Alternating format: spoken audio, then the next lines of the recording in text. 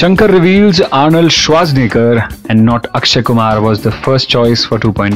Filmmaker S. Shankar said that he had approached Terminator star Arnold Schwarzenegger to play the antagonist in 2.0, but things didn't work out and the role finally went to Bollywood actor Akshay Kumar. Rajinikanth will be back in the role of Chitti in the second installment, The Mega Hit Robot, which is slated to release on November 29. Shankar says, We had thought of casting Arnold, we had talked and allotted dates also, but somehow things didn't work out as the contracts of uh, Hollywood and India are contradictory. So we thought of looking at a good cast from the Indian film industry. Like our producers of 2.0 and Akshay were in talks for a remake film called Kathi in Hindi. Everyone told me to consider Akshay and I also thought it would be nice. I narrated the story to him and he said yes. Shankar is confident that the film would connect with everyone as it has an international theme. The technology he said was better than the previous film and that was the reason they decided to title the film as 2.0.